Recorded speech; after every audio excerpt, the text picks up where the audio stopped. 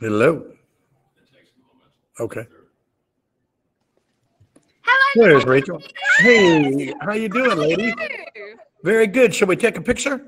Yes, yes, please. Let's take a picture. All right, ready? All right, here we go. Three, two, one. Perfect. Enjoy the chat. Can we just say that you, All are, you are our childhood. You helped us a lot when we were um, bullied at school um, for our infancy. And Winnie the Pooh and Darkwing, and particularly with me when I'm at uni now, I've been watching Darkwing Duck because I Yes. study a Bachelor of Medical Science now. And that's been helping Oh. me get, getting through lots of tough times. So I have wanted to say Oh. thank you so much for helping me and just saying, you know, keep going. Yes. Oh, well, bless your heart. Well, stay sweet as honey. And, and That- keep oh, on dancing.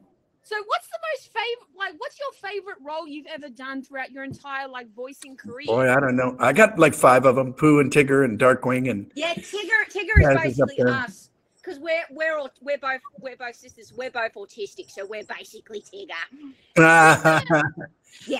With the don't forget Taz. yeah, Oh. true. Um, with the Christopher Robin film, um, what was it like revoicing Winnie the Pooh again and working alongside um Ewan McGregor? Because there was a meme going around about you standing like the scene where he finally sees Pooh on a high shelf, and a lot of people have seen the memes like saying, "Went like Christopher Robin, we meet again," and your character holding lightsabers like saying, "I've got the high ground." Like that type of from Star Wars. Oh, I never saw that one, but he was a nice guy. yeah, he, he, That, he was. that was a lot of fun. I It was a lot of fun.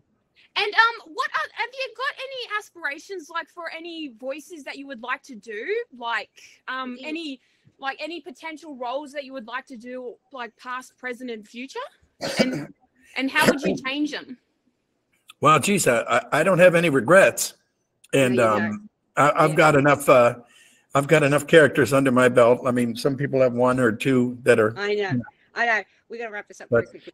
Yeah. So um, Yeah. how's it how's it been with you guys? Because you know, like Yeah, so we- West, West. any any future any future roles that could be Well, coming up? we're still doing Mickey Mouse Club, and we're still doing uh, Curious George. Ooh. And All I- right, That's all I right, just we're want to tell you that because I know the clock is ticking on us. But all thank you very, very much. Thank you. Thank you.